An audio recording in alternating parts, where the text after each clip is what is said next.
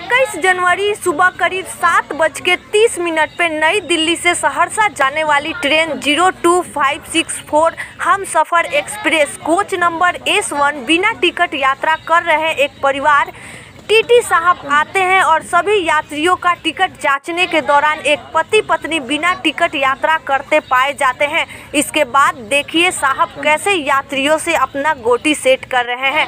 देखते ही देखते 25 से 26 नंबर बर्थ पर बैठे यात्री को बगल के सीट पर बैठाकर साहब कैसे सौदा कर रहे हैं। ज्ञातव्य हो कि वर्तमान में केवल कंफर्म टिकट वाले यात्रियों को ही यात्रा करने की इजाज़त है।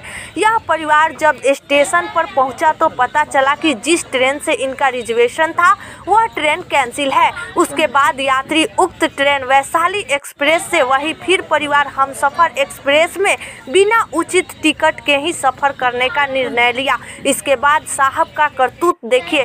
वही जब हमारे संपादक पूछने की कोशिश किए कितना पैसा लिए तो नाजायज़ फ़ायदा उठाने वाले टीटी साहब भाग पड़े।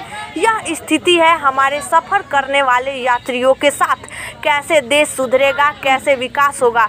यह स्थिति बनी रहे तो अब साफ़ तौर पर देख सकते हैं। यह वीडियो में टीटी साहब का करतूत। न्यूज़ फॉर बिहार के लिए संपादक महोदय की रिपोर्ट, पटना।